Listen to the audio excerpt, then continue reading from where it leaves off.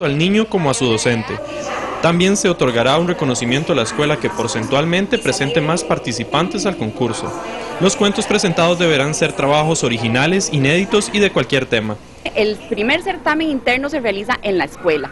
Se pretende que los cuentos se desarrollen en el aula con apoyo de la maestra y la maestra es la encargada entonces de enviarnos sus dos mejores cuentos. Ella nos reporta la cantidad de cuentos que se han escrito en su aula y nos envía sus dos mejores cuentos. De manera que el año pasado nosotros en el equipo de preselección revisamos 1.200 cuentos.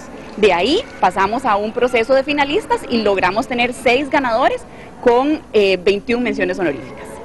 Al igual que el año pasado, los ganadores serán publicados en un libro. El periodo de recepción de los cuentos será del 4 de agosto al 6 de septiembre de este año. Las inscripciones estarán disponibles a partir de hoy en el sitio www.ada.org.cr